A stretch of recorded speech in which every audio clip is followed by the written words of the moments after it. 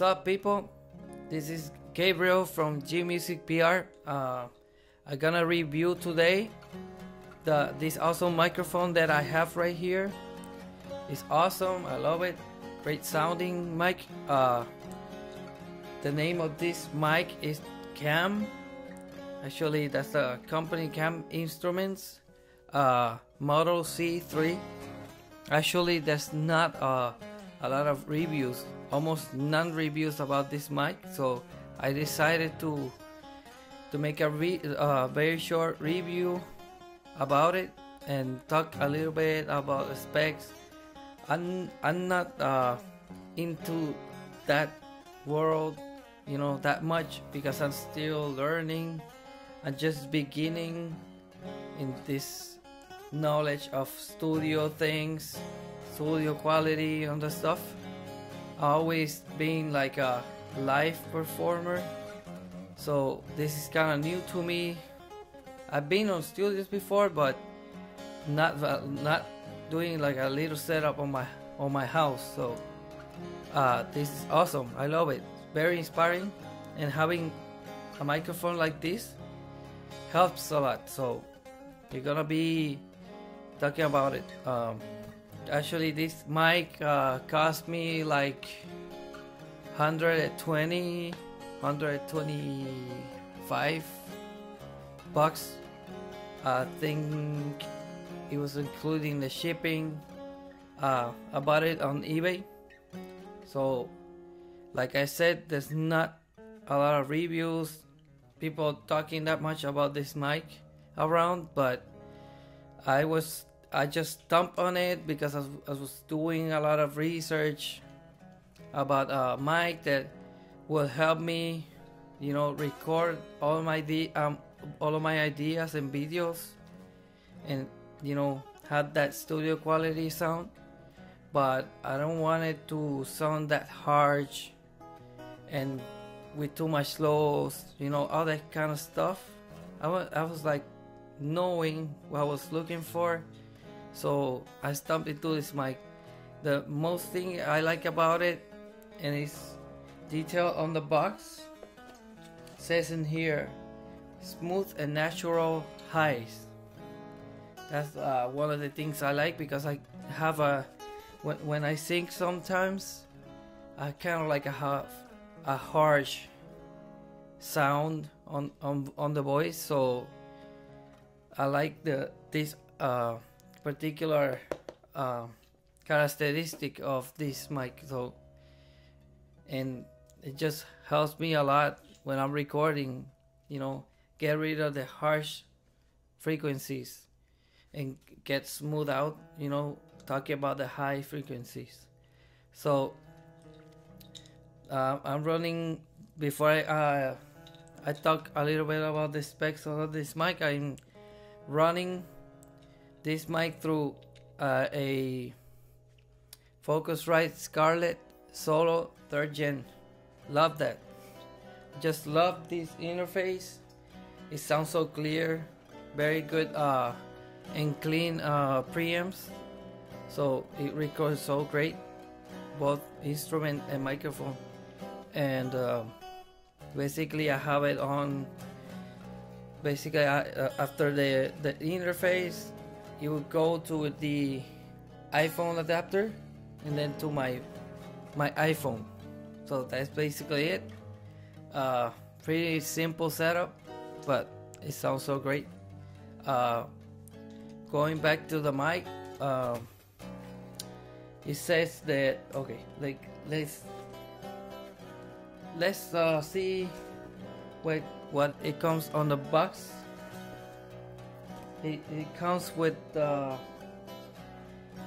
with a leather bag, uh, some adapter, so you can adapt this one to the scissor stands, so you can clip it on the on your desktop, or you can just use it like this with a uh, ordinary mic stand, like this one. Uh, comes with this filter. Pretty nice especially when you have to record some voice pretty close to the mic to get that proximity effect when you get close to it like right now. Proximity effect.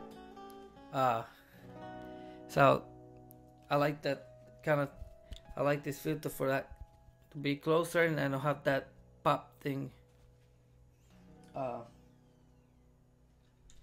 uh actually the specs says in here um is it? Okay. This is basically the the mic. Yeah actually comes with the with the shock mount too. Uh, it's pretty good pretty sturdy well built it's okay. Uh, comes like this. It's a C3 studio condenser microphone from Kam uh, let's go a little bit detail about the the specs. It says it has one inch gold cover diaphragm. Right there. Sounds pretty nice. Um, says here smooth and natural highs like I said right there. Uh, it has a 20 to 20 kilohertz frequency response pretty standard uh, for a studio microphone. Attenuation switch is right here from 0 dB to negative 10 dB. That means decibels. They will go to 0 to minus 10 decibels like right now you can get a different sound and different tone with the same mic. Using this uh, this knob in here you can use it for something louder. It kind of sounds like a dynamic mic kind of thing that kind of vibe.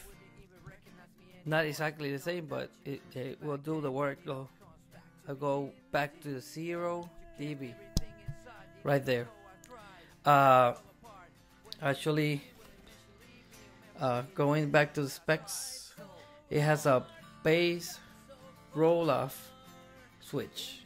So it goes to down to negative 10 uh, dB too at 100 hertz. So basically right now it's normal 0 dB. And I'm gonna do the bass roll off switch now sounds a little bit different a little bit, a, a little bit more front sounding a little bit more uh, mid section. You, you know it pops up a little bit more. I like to, to use this uh, this mode when I'm recording the guitar especially acoustic guitar because it picks up all that mid sections of the guitar while I mix it with the preamp built-in preamp of the of the of the guitar. So this mic I just put it on the on the front and just picks all the resonance around the the guitar but especially takes all those uh, mid highs and mid frequencies pretty well. I love it. Uh, that's why I'm using it right now. I'm kind of learning how to use it still. So I going back to the normal mode right there. A little bit more bass and highs and gets that uh, mid section go low a little bit. It sounds nice. Uh, actually it's very pretty much sensitive. Uh, low noise for sure uh, I don't know it's pretty much low noise especially in this room.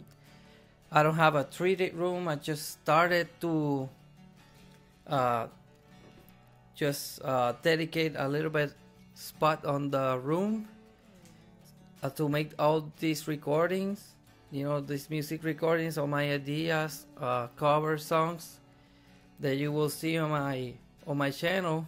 You can just go over there if you like them uh, and watch them and comment whatever you want if you like it good if you don't like it it's okay too there's always room for learning and get better. So, um, what else? Uh, sure, it requires like every uh, every um, condenser microphone. It requires uh, more voltage to run. So it has a it requires 48V phantom power. Um, like uh, this uh, Focusrite Scarlett Solo. It has a 48 volts uh, mode. You just tap it on and it runs smoothly.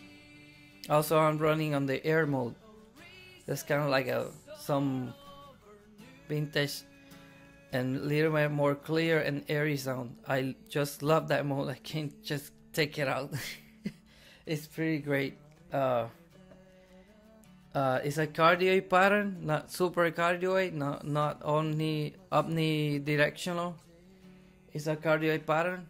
It's pretty pretty okay for uh, what I use for, uh, and it close to the shock mount.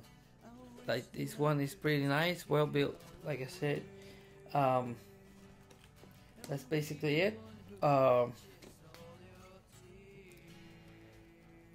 comparing to these mics that I have here, I started all this recording thing when I was not formally doing it like I'm doing now. I started with the with this thing, the blue snowball ice. I don't know, it served me serves me well to record all my ideas, but there was there there's always a point that you say, okay, I need something better. So I kind of went to to the Blue Yeti Nano. This thing can do wonders. The only thing I don't like from it is that I don't have a physical knob to control the gain. So I have a control knob for for the monitor is very good. I I love the all the things on this mic. It sounds pretty good. It has a little bit like a noise to it that it gets on the way, but it's not something that bothers a lot. It's perfect for recording ideas too. But I had to go to something much better, and I went to this one. Why? Why did I choose the Kam C3? Uh, one of the things that attract me the most, apart from talking about the that uh, the clarity and the smooth highs and pretty much the rest of the frequencies are the same. Uh, I compare it to different brands that are very known. Uh, like, for example, Audio Technica 2020. I was about to buy that one, but I noticed that it was very harsh on the highs.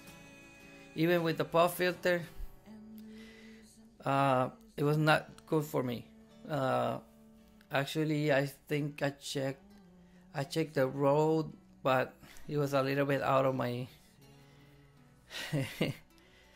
comfort zone. actually, I didn't have that much money to buy it. It's, it's around like 350, 400 the most. So, um, what else? I was checking the MXL. Actually, I tried to to buy the MXL 770. Uh, it was great sounding mic. I, I loved it. It was fine, but uh, the only thing that I didn't like that much it it was uh, emphasize too much on the lows and the mid lows. And I don't know. I thought it would sound a little bit more like muddy for my kind of style. So actually, I checked the 990, the MXL 990. It, it sounds good too, but it was lacking. It was like backwards. It was kind of like lacking on the lows a little bit. It was emphasizing more the the mid, mid, highs and highs, but the low, not I don't know, not much. Uh, basically checking uh, different uh, budget microphones to start with. I finally got the, to this one. Actually, I, I found the the Kam uh, the Kam it the name is the crystal Kam crystal is a large diaphragm microphone. And i like that one. I like the the, the characteristic of it. It the company was like promising. They will sound like a tlm 103 i, I think it is. I think it is uh, from uh, neumann. That's a those are very high end.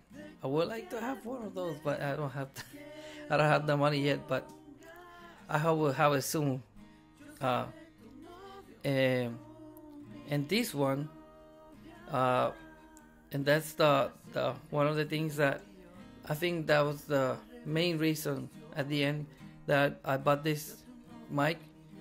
It, they they were promising that it would sound like a U87 you know the classical high-end I microphone that you find in most of famous studios around the world the world high-end studios uh, you can find that one it's a very good one very good workhorse I've, I've record actually my first recording on uh, here uh, on some studio I went uh, they have a a, they had a U87 on the rack. It's so, so freaking killer. But actually having this one, it, I can say that it sounds so similar. Uh, they, they promised that it will sound very similar like the U87 Neumann and it does for my opinion uh, I don't know if you had the, sh- share the same opinion you can uh, share uh, with me your opinion on the on the comments. You can uh, tell me all, uh, everything about this mic. If you wanna know where I buy it, I gonna leave a link on the description box. Also, I gonna leave uh, my information from my Instagram account, so you can uh, visit me there uh, like I said, I'm G Music PR. I make uh, right now. I'm making music covers, you know, in English and Spanish too, because actually, I, I actually talk Spanish. I'm from Puerto Rico, uh, so but I like to sing in English a lot, so so I decided to go back and forth. Uh, I hope you like my content. Uh, just support me. Uh, subscribe. Hit the notification bell so you can receive more notification of videos like this one on some other stuff that we'll make in the future. Uh, thank you for visiting, for listening to to this uh, review. Uh, I just thank you like I said, you have comments. Uh, if you like the video, go ahead and thumbs up. So I see you soon. I see you later and take care. Gracias, gente.